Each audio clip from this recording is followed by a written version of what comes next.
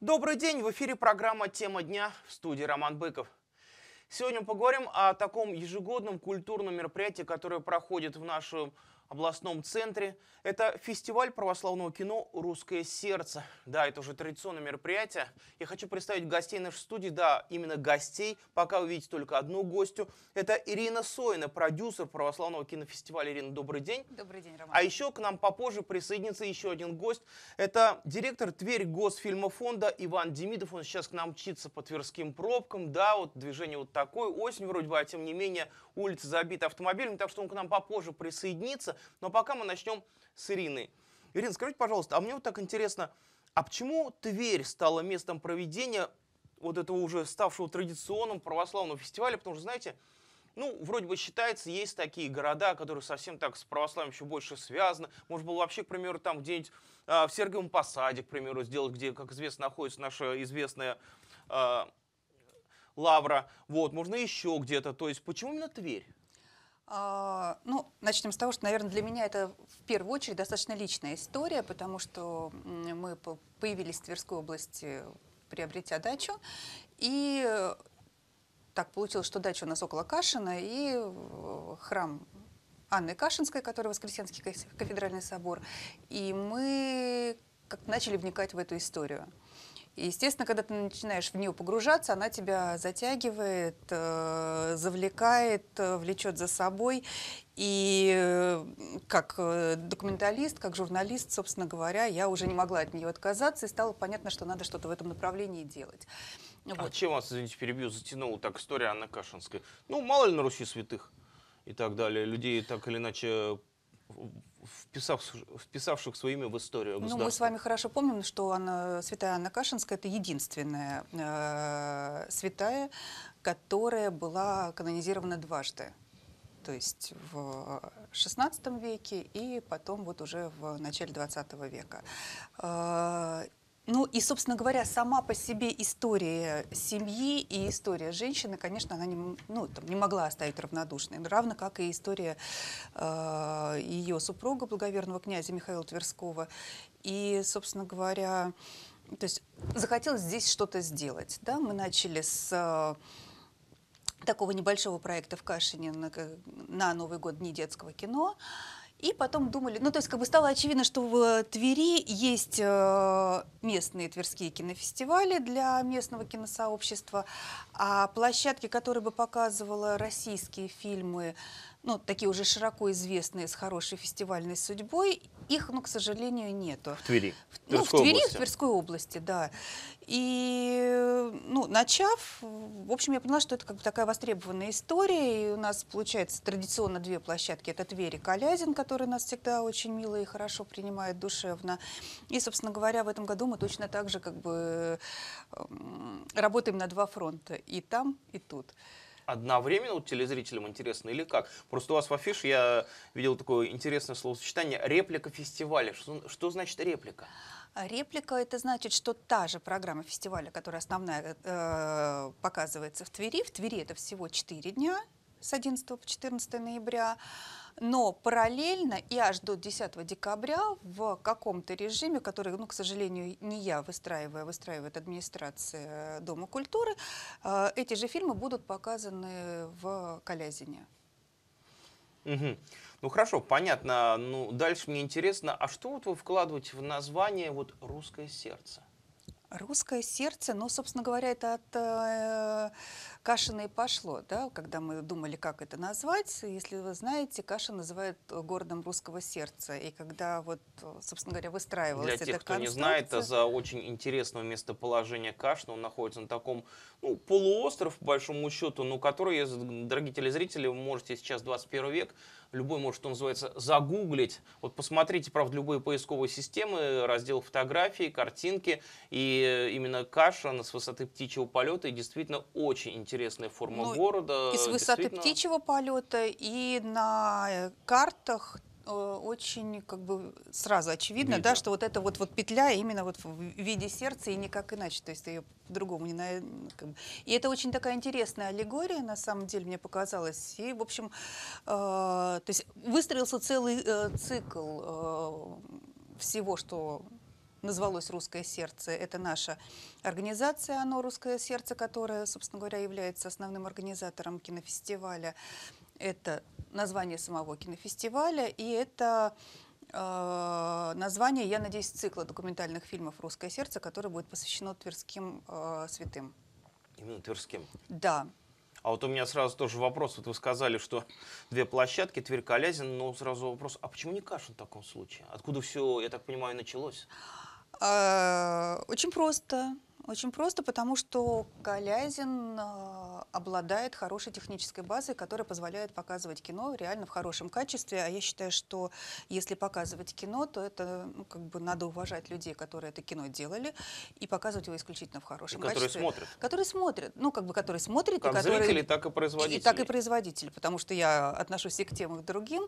И, собственно говоря, ну, как бы, когда ты показываешь в плохом качестве, ну, и зрителю тяжело смотреть, ну, и, в общем, как бы, работая с достаточно именитыми режиссерами, абсолютно точно знаю, что ни один уважающийся режиссер не покажет фильм на плохой площадке.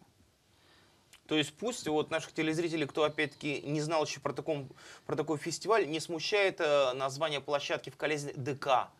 Это вовсе не означает, что там какое-то старое советское оборудование. Наоборот, нет, оно нет, соответствует. Нет, они сделали замечательную вещь, эм, когда несколько лет назад фонд кино а, объявил поддержку кинофикации малых городов, они подали заявку и по этой заявке получили суперсовременное кинооборудование, которое позволяет делать кинопоказы с сервера, с носителя Digital Cinema Package, э, то есть последнего поколения. И для этого, по большому счету, ничего не надо. То есть, как производитель загружаешь на сервер фильм, они у себя его скачивают, то у тебя как бы логистика в этом отношении абсолютно упрощается и становится приятной. То есть всего лишь подали заявку. Всего лишь подали заявку, да. Это вот такой небольшой, скажем так, упрек кашинским чиновникам и не только. Дорогие кашинцы, вот видите, как все вроде бы началось с вашей земли, а ушел такой фестиваль к соседям, можно сказать, а всего лишь люди не поленились и подали заявку. Таким образом, получили оборудование не только для проведения, собственно говоря, фестиваля, а просто чтобы радовать своих земляков качественной картинкой. Все-таки на дворе 21 век не надо думать про своих земляков, что, а, перебьются, либо съездят в Тверь, где можно посмотреть в современном кинотеатре в хорошем качестве фильмы. Подайте тоже заявку или спросите у коллег, как они это сделали. Уже, к сожалению, закрыта эта программа. Закрыта? Да, но вот Очень к- жалко. И, и еще к большему сожалению, собственно говоря, я была в диалоге с э, м, администрацией, чтобы подать эту заявку, чтобы в Кашине это было достойном Кашинская уровне. И ну вот в какой-то момент что-то пошло не так. Вот, вот удивительно просто, да? Могли бы, как сейчас, каждый регион печется о том, чтобы э, дополнительно какое-то мероприятие получить, которое будет привлекать туристов, которое бы станет одним из э, брендов региона, да, и казалось, тут кинофестиваль, у вас есть возможность. Том Да стать нет, на самом деле это как бы возможность п- п- такая была замечательная, Была, просто скажем, да. получить а, то оборудование, которое стоит просто миллионы, которые понятно, что у регионов в принципе Конечно. нету. При этом а, фонд кино был очень лоялен в выделении этих средств и в условиях выделения этих средств. То есть э, надо было соблюсти условия как бы показов российского кино. Это с одной стороны. С другой стороны, получая это оборудование, ты получаешь э, возможность проводить ну, абсолютно разнообразные мероприятия, кроме кинопоказов. Да, О чем это и какие-то внутренние вещи, да, там э, какие-то праздники городского уровня, э, районного уровня. Ну, то есть вот, ну, поле для деятельности абсолютно широкое. И, конечно, безумно обидно, что вот, ну, как бы с Кашиным такая история не получилась. Но Калязин люблю, ценю и как бы вот, вот, вот всегда э, радостно туда приезжать и работать с ними. А мы, дорогие телезрители, всегда готовы выпустить рекламу, не переключайтесь. Мы говорим о том, что в Твери будет проходить, не только в Твери, в Тверской области, очередной кинофестиваль «Русское сердце», поэтому не переключайтесь, очень интересно, дальше будет буквально несколько минут рекламы.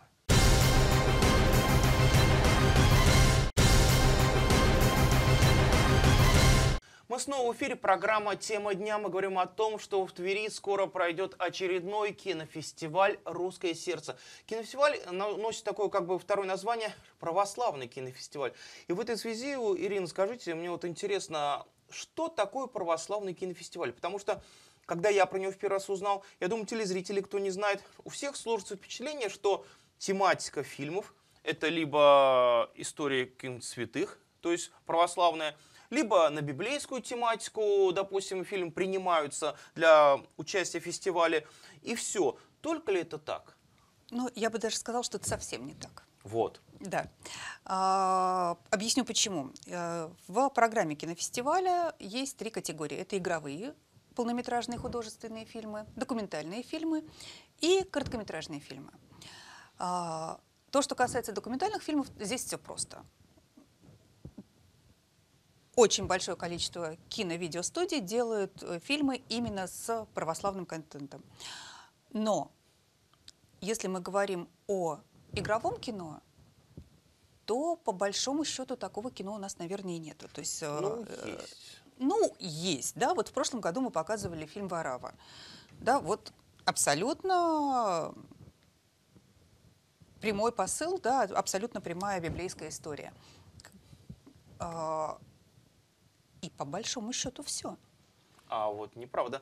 Я как-то пару лет, может, назад на каком-то из ну, кабельных каналов показывали тоже наш русский фильм, посвященный тоже библейской тематике, и там главный персонаж Иуда.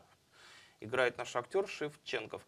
Вот, не смотрели? Нет. Тоже такое интересное, как бы, точка зрения. То есть, как он дальше жил и так далее. Вот, поэтому включите в программу, если сочтете нужным. Это русский фильм, я говорю, он относительно недавний, то есть ему там не то, что там 10-15 лет.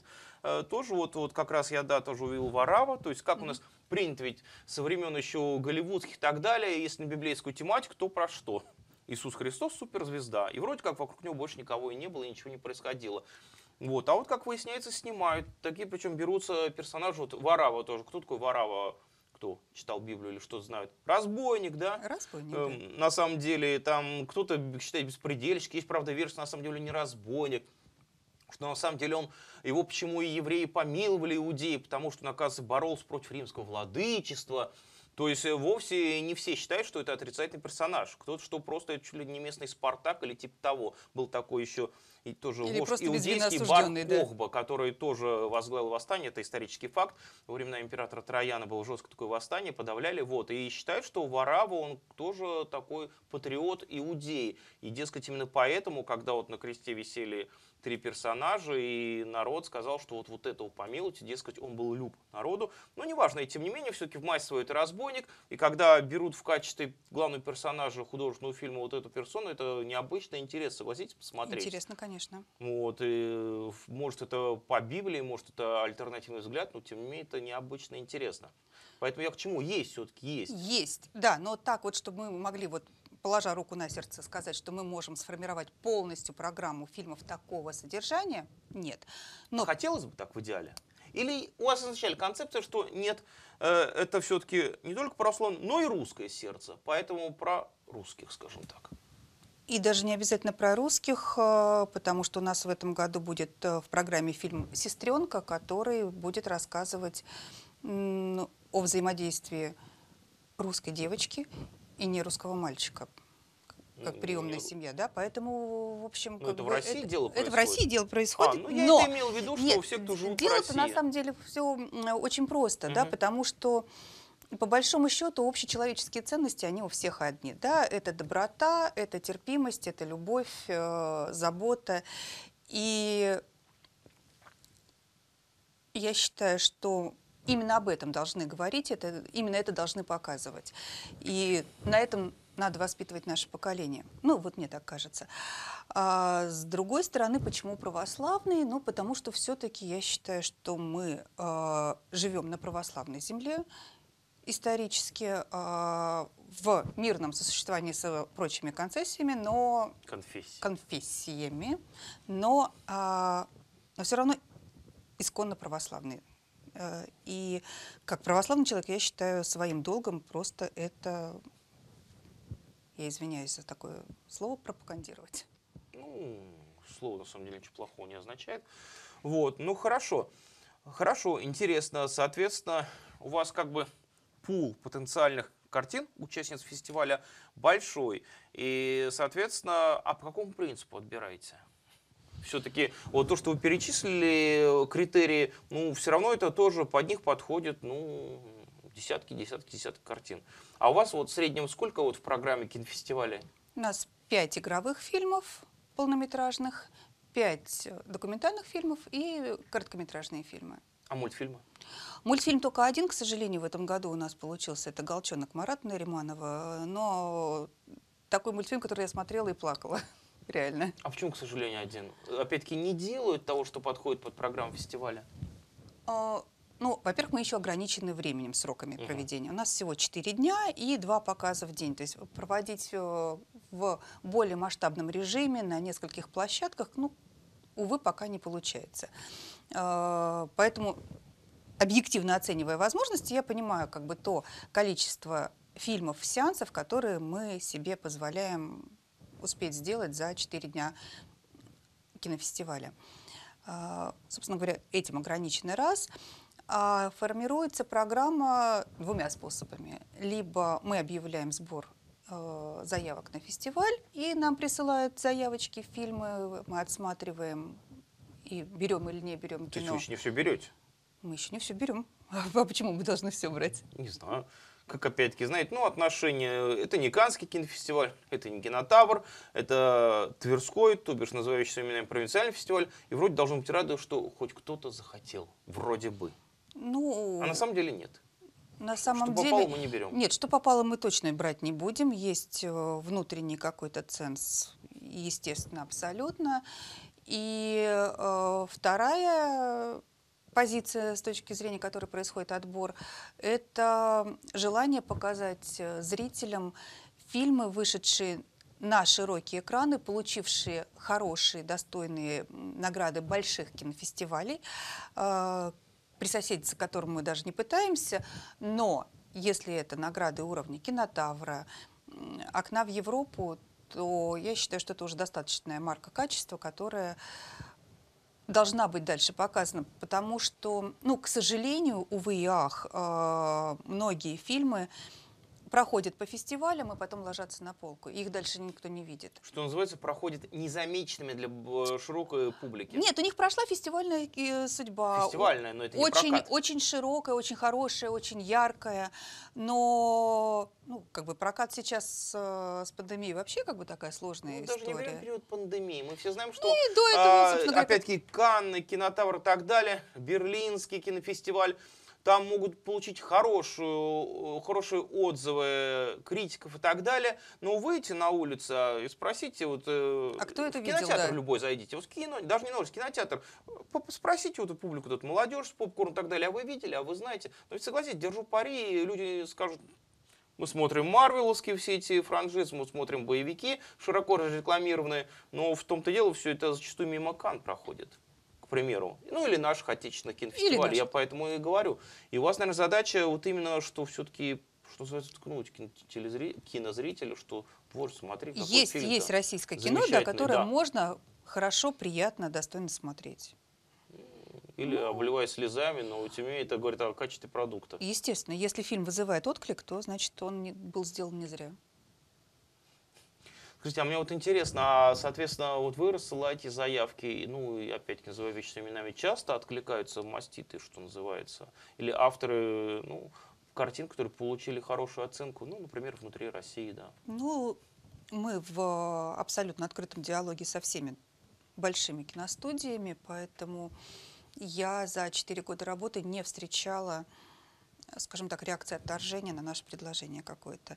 Единственное, что может быть, это если фильм какой-то совсем-совсем новый, и э, производители, дистрибьюторы хотят э, заявить фильм сначала на фестивалях класса А или Б, ну, то есть как бы таких вот весомых, то, конечно, мы там договариваемся и ждем своей очереди. Так было, например, в прошлом году с фильмом «Война Анны».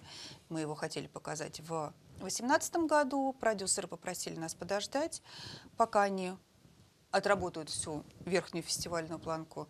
И в прошлом году нам его дали для показа.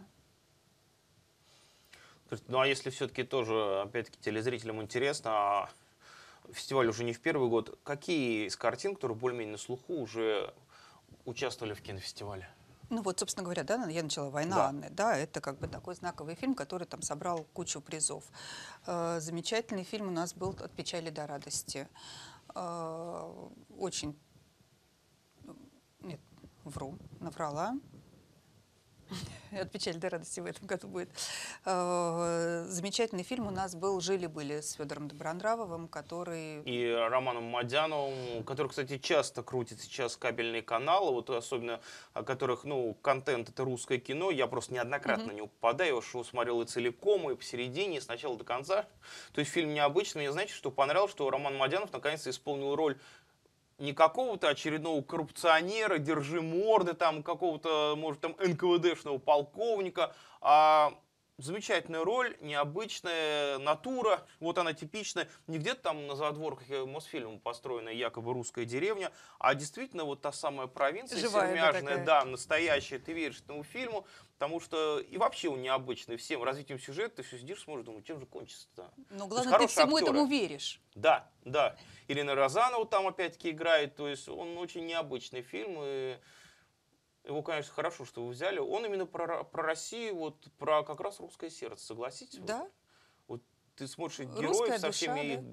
грехами, какими достоинствами. Типичные русские люди, которые живут, вот они живут там в этой глубинке русской, они хотят уезжать, хотя когда им там, ну что там, и дети говорят, ну что ты здесь, вас втроем осталось.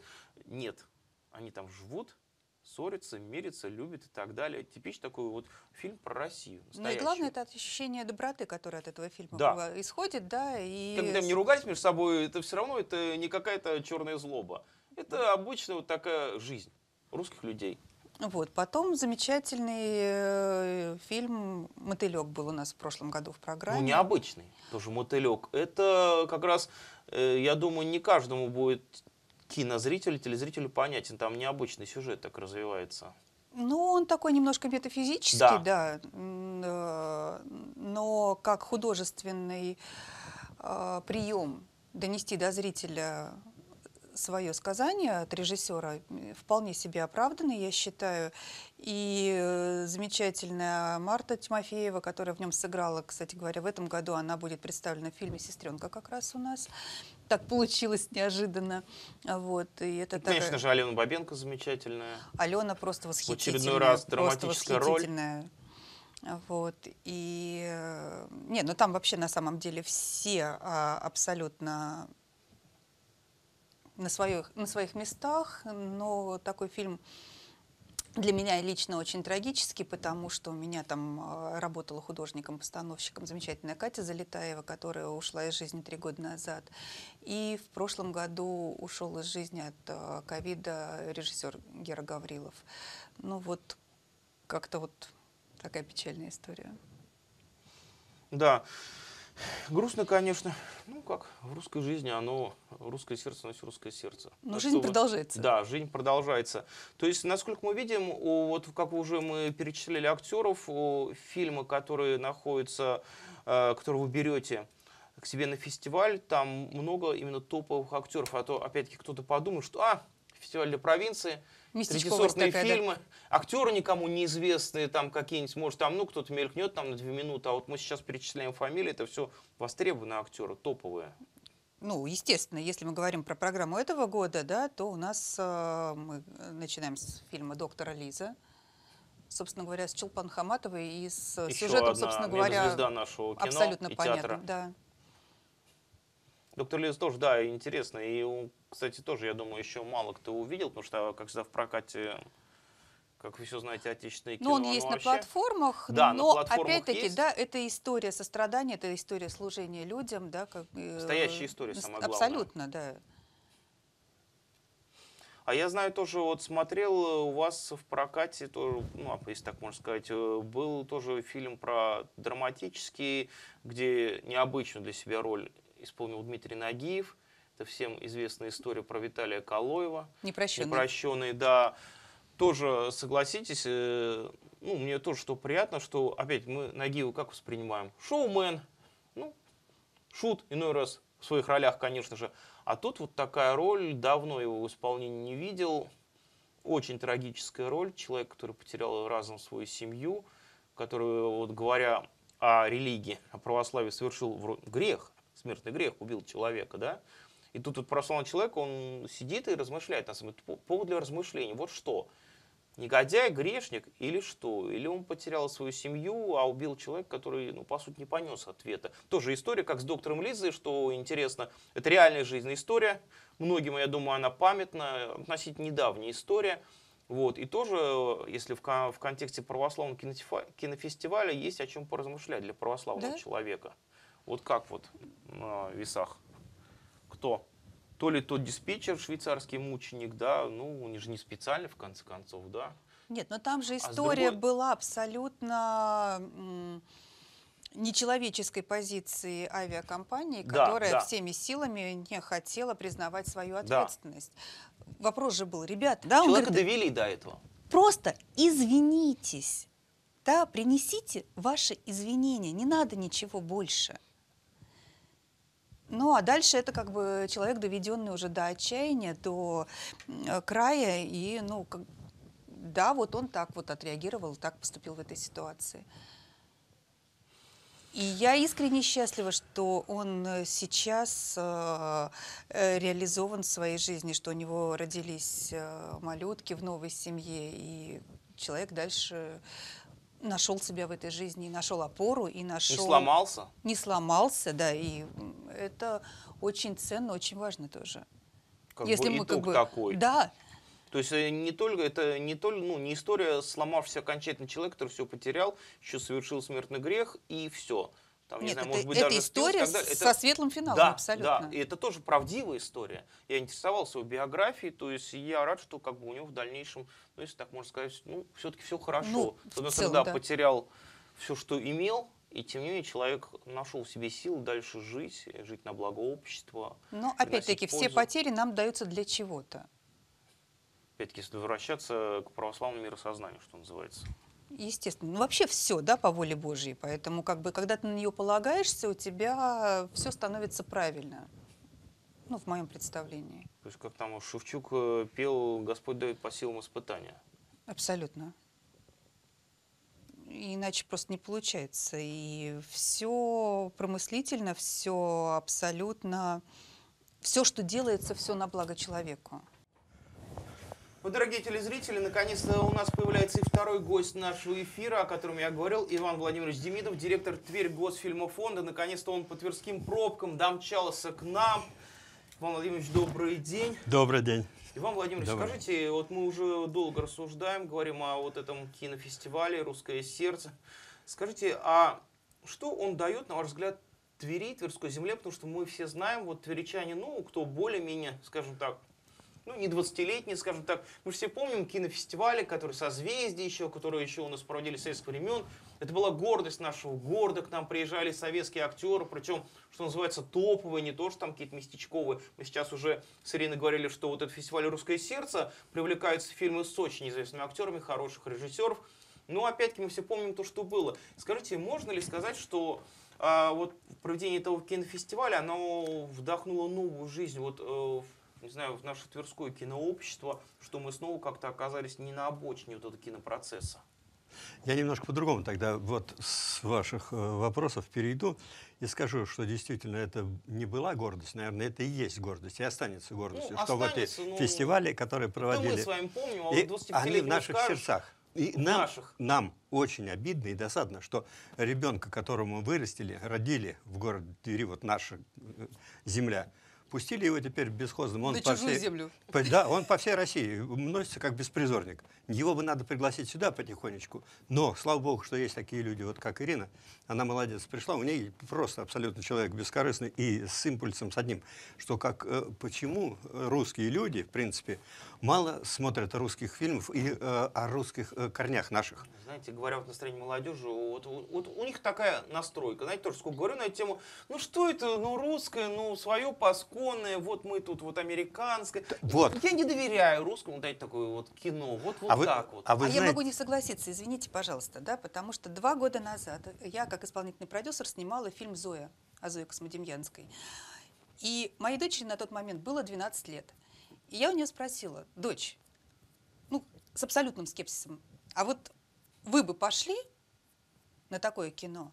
Она говорит, мам, мы бы пошли. Ну, вот а я, я вам, бы а пошла а я вот и бы повела возражу, бы. наверное, все-таки кажется, потому что это ваша дочь. Вот, вот так. А я сколько, еще раз говорю, общаюсь э, с дочерьми и, и сыновьями, у которых мама и папы никак Ром. не относятся к кино, к сожалению, есть такое пренебрежительное отношение к русскому кинематографу. Я понял этот э, вопрос, но тем не менее, Роман, вот еще какая есть вещь. В свое время Ален Далис, там говорят, может быть, это не было точности документировано, но это точно совершенно, что в 45 году, в 46-м, вернее, вот она закончилась война, и был у него уже разработан план захвата Ну, это России. всем известно, это всем мы да? Так их вот, испортим изнутри и так далее. так он портит изнутри. Ну, мне Ты кажется, обрати внимание, можно задать тебе вопрос? Изнутри я не верю в тлетворное влияние Запада. Ты не виноваты. веришь, ради бога, не верь. Но ты пойми, когда на нашем ЗАГС собрании написано «собрание» на латынице, Латиница. ты понимаешь, я сам думаю, а что, ребята, вы же кто, русские люди или нет? Почему вы английскими буквами пишете в территории? Латинскими. И А, вот ну, это всё на происходит сверху вниз. собрания останется, надеюсь, тоже нас услышат. Они только недавно, вот сегодня проезжал на съемку, как раз, да, вот мимо этого собрания, что там, то ли клуб, то ли бункер. Но все-таки, неважно. возвращаясь, что дало это вот именно Твери, Тверской земле? Это даст, безусловно. То есть вокруг этого соберутся те люди, у которых есть потенциал, у которых есть внутренняя совесть, у которых совесть, она, естественно, внутренне всегда есть. Вот, э, которых есть порядочность, доброта, и вот эта платформа, с которой можно будет опять отталкиваться, развиваться и возвращаться к истокам. Дело в том, что вот плюют на коммунистов и так далее, но как бы ни было, вот, э, что бы ни говорили про коммунистов, они, когда писали свой, э, значит, э, устав, и- да, и вот, соответственно, программу строителей коммунизма, они же взяли все из нашей православной церкви. Да не убей, не укради, доброта. Ну, То есть Луначарский был не дурак, понимаешь, в чем дело? Он был умный человек. по факту соблюдали, конечно. Если- Особенно касаемо «не убий». Но Ну тем да, не менее. а- ладно. нет, эта мораль, она закладывалась. И вот если бы этой морали мы не соблюдали, и по большому счету не произошло Великой Отечественной войны, а мы бы просто сказали, как вот сейчас школа воспитания, вот только-только в этом году, уже когда пять лет исполнилось присоединение Крыма, значит, вхождение его в нашу Россию опять снова, Путин сказал конкретно уже, что же вы, ребята, э, школа сейчас воспитательный момент упустили, и надо вместе с образовательными программами запускать обязательно и воспитательную. То есть это параллельно должно быть. Если мы не воспитываем человека, мы не делаем из него человека, мы делаем потребителя. Вот о чем был разговор до этого э, Фурсенко у нас, да, который говорил, что мы должны воспитать грамотного потребителя. Не может быть. Человек должен быть творцом. Вот эта основа должна быть. И вот, э, ну, это мое убеждение. Может быть, я и не прав. Я не... Не, почему? А у нас не-не-не-не. У нас программа «Тема дня», у нас демократия, каждый скажет свое мнение, Вот никому мы рты не я- затыкаем. Так что Ага, вот поэтому моя точка зрения абсолютно точно. Я согласен с тем, что твори- э, человек должен быть творцом. Другое дело, насколько у него потенциала хватит. Вот это как раз должны давать школы, общественные организации, и в том числе фильм и искусство. Ес- искусство вообще, если в искусство не может развивать человека по э, вертикали с точки зрения эстетики, с точки зрения нравственности, с точки зрения как человека, это не искусство. Это просто элементарное потребление, накопление денег. Вот это попса нынешняя, и понимаешь, в чем дело, Моргенштерны, Оли Бузовы и так далее, я их лично не знаю, но вот то, что я вижу, они просто на вот этом хайпе зарабатывают деньги. Просто элементарно делают. Если я сейчас раздену, здесь что-нибудь покажу, нажет, начнет ржать, издеваться, говорит, Демидов сошел с ума, ну смотри, я же видел, и бах, 200 тысяч у меня лайков этих будет. А я с этих 200 тысяч получу 200 тысяч рублей. И вот они на это запросто настроены. Понимаешь, какая штука? И вот молодежь к этому подвели. А нам из, этого болота вытаскивать. И вот этому фестивалю благодаря мы сможем по чуть-чуть начинать, и мозг у них вот перебег, на бикрень сейчас сделан, по большому счету, не им э, вина, не их, не молодежи, а их делают. Более того, это делают даже наши центральные каналы. И когда вытряхивают грязное белье и говорят, вот этот с этим переспал, а вот этот ты от него забеременел или нет, ну это, это маразм, это бабушки на скамейках у нас в советское время ругались за то, что говорят, сплетницы. А теперь это в ранге э, на первых каналах это рассуждают. Тот же Малахов и так далее. И молодежь это подхватывает. Вы смотри, сейчас э, открой любой вот этот самый их тиктоки и так далее. А там все на этом построено. Пошлятина ниже пояса, вот это Ну, да. ТикТок как интернет это забор. Раньше на нем углем писали, сейчас Ну, на экране. Да, Скажите, Но а зато вот- дали на всю Россию этот забор-то. Ну, так он и был на всю Россию. Скажите, все-таки мне действительно интересно, вот молодежь, мы говорим, а кто в целом ваша публика? Какой возраст? Может быть, даже социальный пара- портрет вот? Ну, я бы вот так э, анализируя тех, кого я вижу в зале, я бы Мгм. выделила две категории. Первая – это реально молодежь, это студенты, которые Вот. там 20-25, которые приходят. На радость Ивану Владимировичу. На радость Ивана Владимировича Да. абсолютно. Причем их никто не, не ведет за руку Вот, и не заставляет скажет, а, стройными небось, рядами. Нет. Педагоги притащили. Нет, нет, нет. У нас эта конструкция отсутствует начисто. То есть мы не работаем с образовательными учреждениями, что типа вот по класс, разнарядке, да, да. вот нам вот, пожалуйста, посадите, потому что нам надо зал запомнить, заполнить. Нет, вот сколько пришли, столько пришли. Они пришли сами.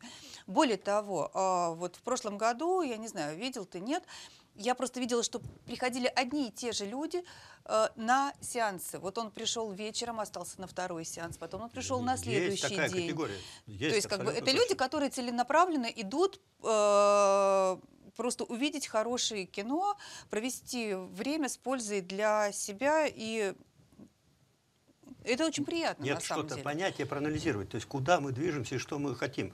И вот то, что Достоевский писал тогда уже 200 лет практически тому назад, ну 150 точно, значит, 150. э, и оттуда вот такие же люди-то есть, им хочется дойти до сути. Вот этот момент, он присутствует, он молодежь, он просто обязательно. Без этого ну, не может человек развиваться, если его нет. И при том вот это самое состояние, когда вот хочу дойти до сути и понять, это именно в молодом возрасте. С возрастом это ты понимаешь, просто уже анализируешь, я был прав или не прав, а я туда вот предположил, а так нет. И уже немножко отдаляешься и над этим, как-то сбоку. А они изнутри живут, они на острие атаки вот этой нынешней находятся, и со стороны Запада, и с чего угодно там. Но самое главное, они внутренние. Вот этот момент, если мы им даем вот эту пищу и скажут, попробовали, говорят, а ведь это правильно, вот так надо было бы сделать, и вот этот момент произошел бы. Поэтому очень важно, очень важно. И вот эти фильмы, которые, они, понимаете, в чем дело, не имеют коммерческого, как сказать, успеха, наверное, не то слово, но по большому счету да.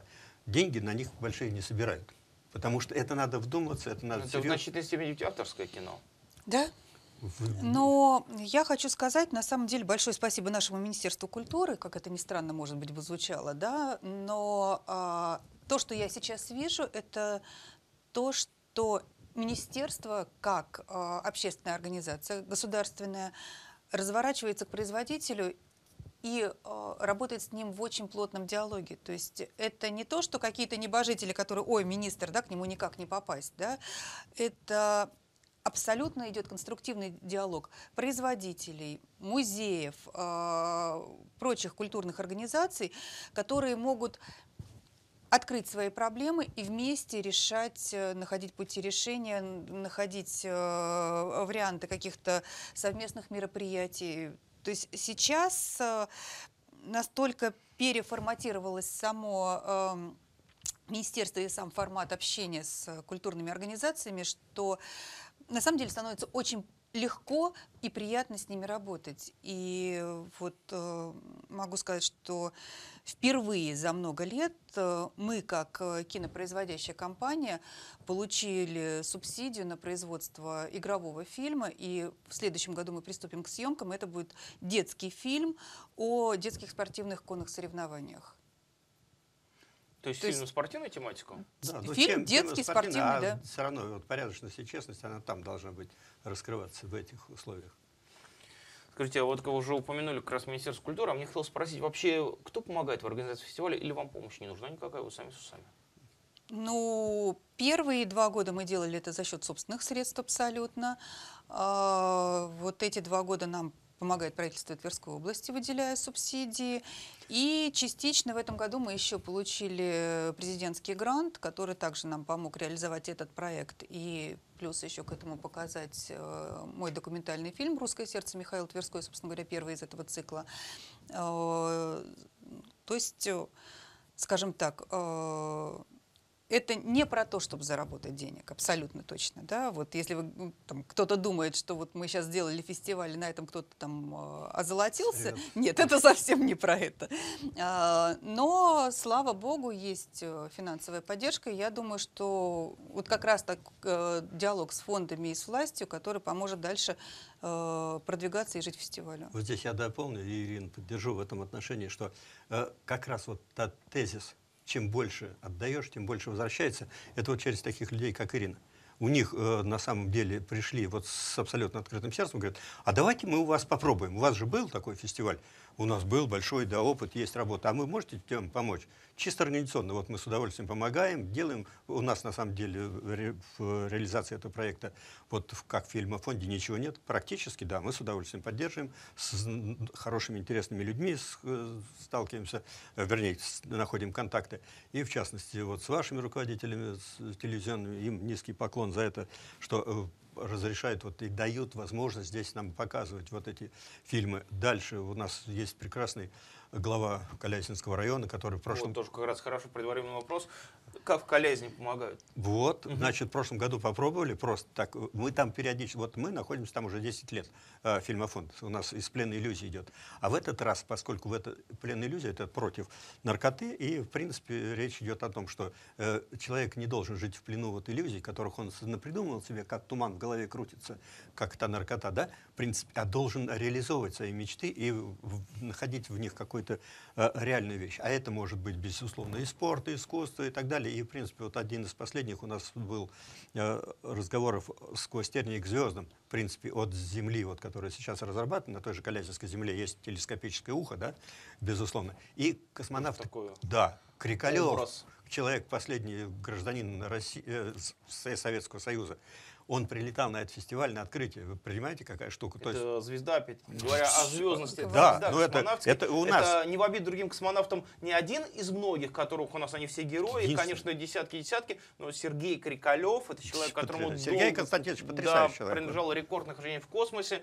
который действительно, как сказали, улетел э, из Советского Союза, а вернулся, вернулся в другую страну. страну. То есть это действительно звезда отечественной, не только отечественной, а мировой космонавт. Мировой космонавт. Это не просто один из И сейчас он руководитель вот этого да.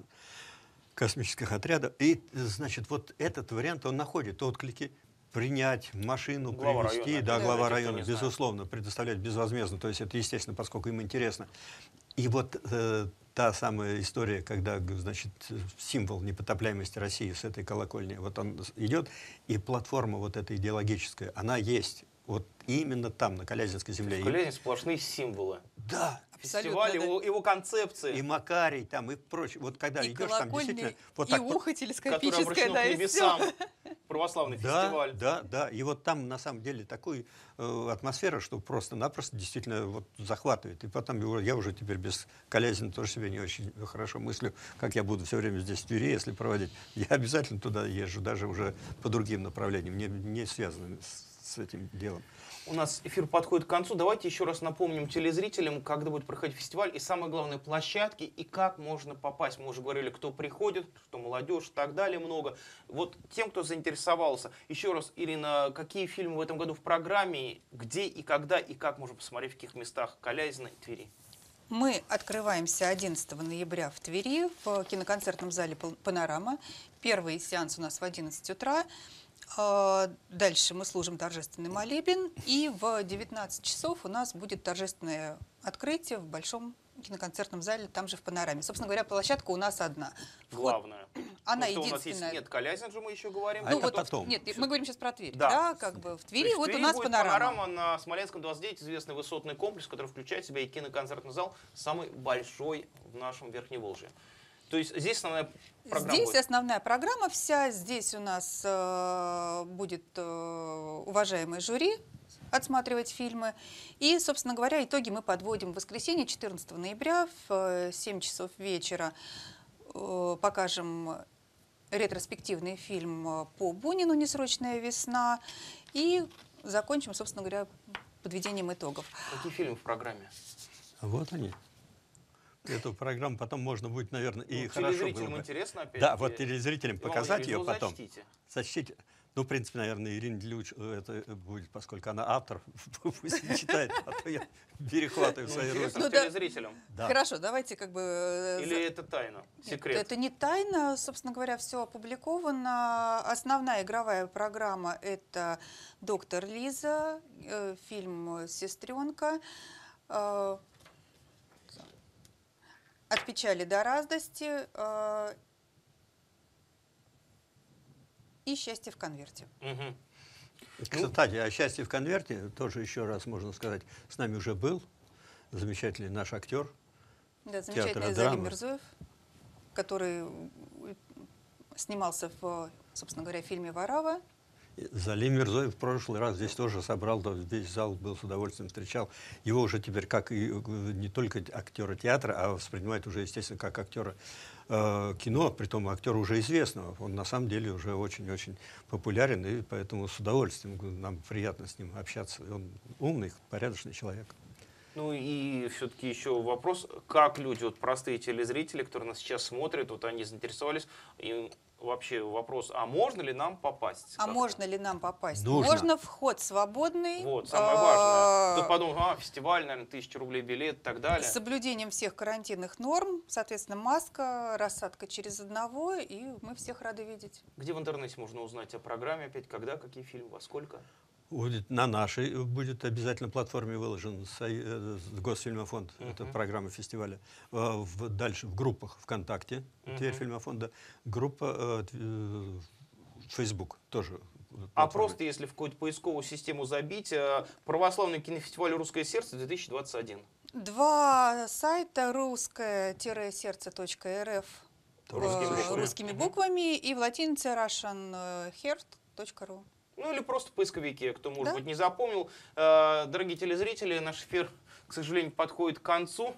Мы сегодня говорили о том, что в Тверь скоро приходит уже в очередной раз, в четвертый, если мне изменяет память, а, ки- православный кинофестиваль «Русское сердце». Но сразу тем, кто, может, скептически будет настроен, это не только православные кинофильмы, то есть фильмы на православную тематику и так далее. Нет, это просто именно русский кинематограф, зачастую авторские фильмы, которые в наших, к сожалению, кинотеатрах зачастую не увидеть. А тут есть блестящая возможность увидеть топовые актеры, мы уже говорили, там уже среди что участников фестиваля это и Алена Бабенко, и Дмитрий Нагиев и так далее. Вот сейчас э, доктор Лиза тоже всем известно, какие там актеры снимались, Чулпан Хаматова чего стоит. Мирзоев. Поэтому бесплатно, бесплатно можно посмотреть эти замечательные фильмы. Про них, кстати, на Первом канале много говорили. Поэтому приходите, кто заинтересовался, в интернете полно информации. Спасибо большое, уважаемые гости. Успехов вашему предприятию, Спасибо, вашему Роман. Спасибо, фестивалю. Самое главное, знаете, успех это, на мой взгляд, побольше зрителей и, самое главное, побольше молодежи. Да. Спасибо большое. Это была программа «Тема дня». Хороших вам фильмов.